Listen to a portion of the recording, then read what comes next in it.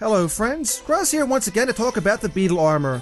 Normally I use the tank aspect of it, but today I'm going to be equipping the Beetle scale armor, which is more of the DPS aspect of it. So this is going to give us less defense, but now we're going to wind up doing more damage.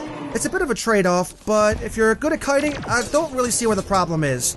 We have Skeletron Prime here, and like I said, if you're good at kiting, it won't be such a problem at all. So if you like doing damage and you're not afraid of taking a few hits, this is really the armor for you.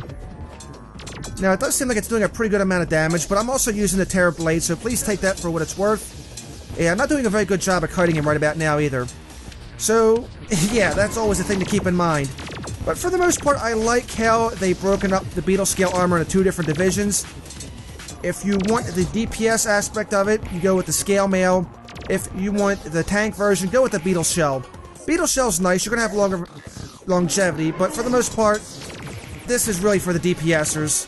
It is what it is. So anyway, this is me taking on Skeletron Prime, and I hope you found this video informative. If so, please give it a thumbs up. Let me know what you think down in the comments section below. Any comments, questions, or suggestions.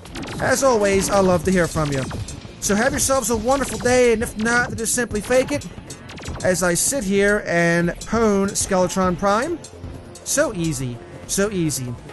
Anyway, I will see you guys again next time as I own face here with this Beetle Scale Mail.